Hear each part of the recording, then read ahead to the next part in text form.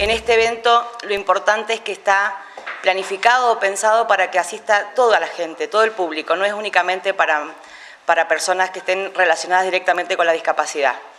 Eh, apuntamos a que vengan las familias, que a veces, si bien tienen alguna persona en, su familia con síndrome de Down, puede que desconozcan o no estén actualizados en un montón de cosas, así que es la idea que participe, eh, es abierto al público en general.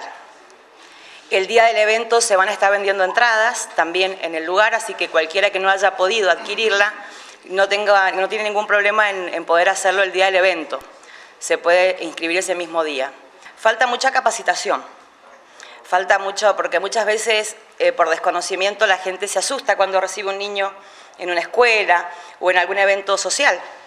Entonces la idea esta de ir eh, sacando mitos de la sociedad y brindando las capacidades o la, capacitación que se pueda, que podamos traer y acercarles a las personas que por ahí no pueden viajar a distintos lugares para que puedan ir capacitándose perdón, día a día y que sea fácil acceso.